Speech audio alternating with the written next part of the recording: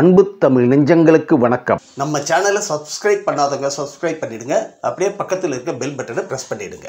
வாங்க வீடியோக்குள்ளே போகலாம் எதிர்நீச்சல் சீரியலை பற்றி குணசேகரனிடம் ஜெயிலர் படப்பிடிப்பு தளத்தில் பேசியுள்ள ரஜினி தற்போது ஒளிபரப்பாகி வருகின்ற சீரியல்களின் ஒட்டுமொத்த வரவேற்பையும் ஒரே நாடகம் கவர்ந்து விட்டது என்றால் அது சன் டிவியில் வருகின்ற எதிர்நீச்சல் சீரியல் தான் அதற்கு முக்கிய காரணம் மக்களுக்கு பிடித்த மாதிரி விறுவிறுப்பாக கதைகள் அமைவதுதான். அத்துடன் ஒவ்வொரு கதாபாத்திரங்களும் யதார்த்தமான நடிப்பை வெளிப்படுத்தி வருகிறார்கள். மேலும் தினமும் இந்த நாடகத்தை பார்த்துவிட்டுத்தான் தூக்கமே வரும் என்று சொல்லும் அளவில் அளவிற்கு பெயர் வாங்கி வருகிறது இந்த தொடர். இந்த ஒத்த நாடகம்தான் சன் டிவியில் மொத்த டிஆர்பி இரட்டையும் அதிகரித்து இருக்கிறது. அதனாலேயே இதுவரை ஆறு நாட்கள் மட்டும் ஒளிபரப்பாகி இருந்த இந்த நாடகம் தற்போது ஞாயிற்றுக்கிழமையும் ஒளிபரப்பாகி கொண்டு இருக்கிறது மேலும் இந்த நாடகத்தில் குறை என்று எதுவும் சுட்டிக்காட்ட முடியாத அளவிற்கு மக்களுக்கு பிடித்தமாக இருக்கிறது. தற்போது இது சம்பந்தமாக இயக்குனர் திருச்செல்வம் பேட்டி அளித்திருக்கிறார். அதில்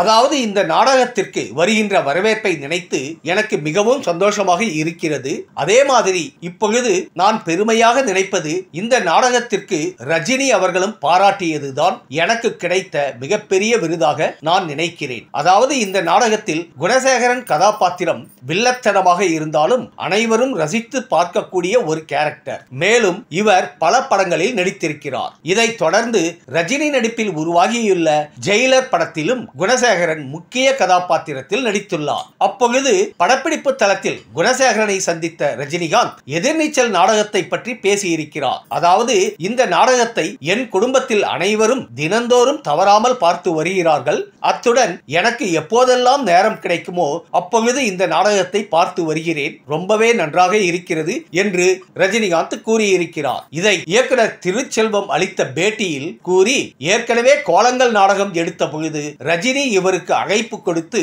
நாற்பத்தைந்து நிமிடம் பேசி பாராட்டி இருக்கிறார். அத்துடன் கூடிய விரைவில் வெள்ளித்திரைக்கும் உங்களுடைய பயணம் தொடர வேண்டும் என்று வாழ்த்துக்களை கூறியுள்ளார் என்று தெரிவித்துள்ளார். இந்த வீடியோ உங்களுக்கு பிடிச்சிருந்தா கமெண்ட் பண்ணுங்க ஷேர் பண்ணுங்க லைக் பண்ணுங்க. மறக்காம சப்ஸ்கிரைப் பண்ணுங்க.